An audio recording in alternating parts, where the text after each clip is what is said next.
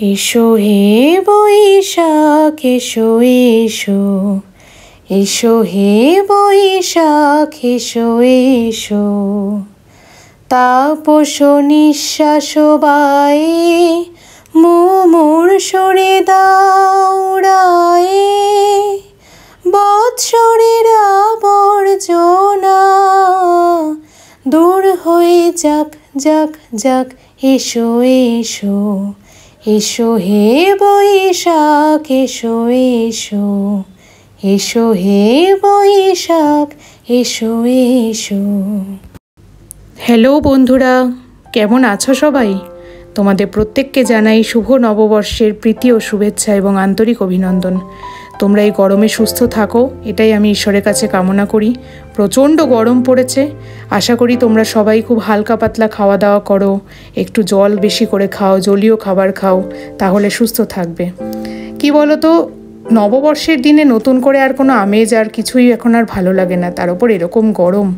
তো সেইভাবে কোনো প্ল্যানই আজকে আমার ছিল না। সকালবেলা একটু স্নান করে ঠাকুর ঘরে গেলাম, ভাবলাম নববর্ষের শুরুটা ভগবানকে পুজো করেই শুরু করা যাক।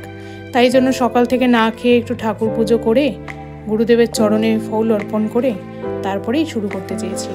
কি বলতো, আমাদের যখনই দুঃখ দুর্দশা হয়, আমাদের কিছু চাওয়া পাওয়া থাকে আমরা নির্বিঘ্নে ঠাকুরের কাছে চেয়ে নিই। কিন্তু একবারও ভাবি না যে তাদেরকেও আমাদের সময় দেওয়া উচিত। তাই ভাবলাম আজকে একটু গাছের ফুল দিয়ে গুরুদেবের চরণে ফুল অর্পণ করে আমি আমার নববর্ষের দিন শুরু করি। ছেলেটা বড্ড ছোট, তাই কোনো আয়োজন ছিল না। আমার হাজব্যান্ড আমার পাশে এই মুহূর্তে নেই। ও অফিসের কাজের সূত্রে এখন বাইরে রয়েছে। তো সেইভাবে আয়োজন কিছুই করিনি। তো এই দেখো পুজো টুজো করে এলাম একটু ছেলেকে খাবার খাওয়াতে। তো ওকে এখন সদ্য সাত মাস বলে সিম্পল খাওয়া দাওয়া একটু করানো হয় সব কিছু ইন্ট্রোডিউস করানো হয়। তো ওকে কোনো রকম একটু খাইয়ে আমার মাকে বলছিলাম যে, মা, একটু ফোনটা ধরো, ওকে একটু খাওয়াই। তো দেখো, শুধু ক্যামেরার দিকেই তাকিয়ে থাকে। তো যাই হোক, ওকে খাওয়া দাওয়া করানোর পরে আমরা গেছিলাম দুপুরে লাঞ্চ করতে। তো দুপুরের লাঞ্চে আমার মায়ের হাতের বানানো বাসন্তী পোলাও আর শাহি পনির মা রান্না করেছিল। তো সেটা নিয়েই বসেছিলাম খেতে। দুপুরের আয়োজনটা একটু ভালো ছিল, সঙ্গে আবার আমের চাটনি ছিল। আর গরম মানে তো জানোই, একটু আমের পদ না হলে হবেই না। তো সেই রকমই আয়োজন করেছিলাম। আর নিজের মনটাকে একটু ভালো রাখার জন্যেই নিজের জন্য খাবারটাকে একটু সাজিয়ে গুছিয়ে নিয়েছিলাম। হ্যাঁ এটা দেখো আমি নিজেই নিজের জন্য আয়োজন করছিলাম। যে তোমাদেরকেও একটু দেখাবো বলে সুন্দর করে একটু সাজিয়ে গুছিয়ে খাবারটা পরিবেশন করছিলাম।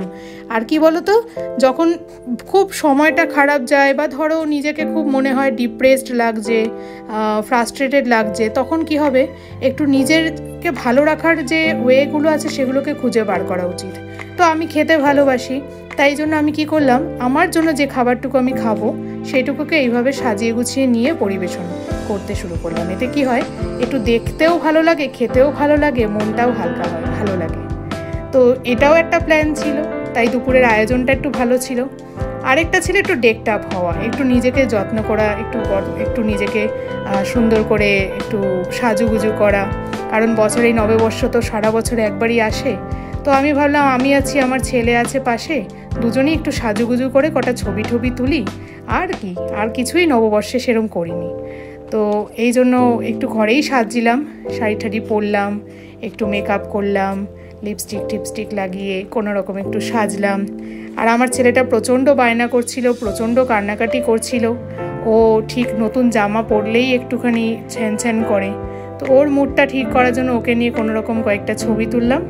তো এইভাবে আমি আমার নববর্ষ কাটিয়েছি। তো তোমরা জানাও তোমরা কীরমভাবে নববর্ষ কাটিয়েছ। আর নতুন ভিডিওস পেতে অবশ্যই সাবস্ক্রাইব করো আমার চ্যানেলটা তো আজকের ভিডিও এখানেই শেষ করছি। ভালো থেকো। বাই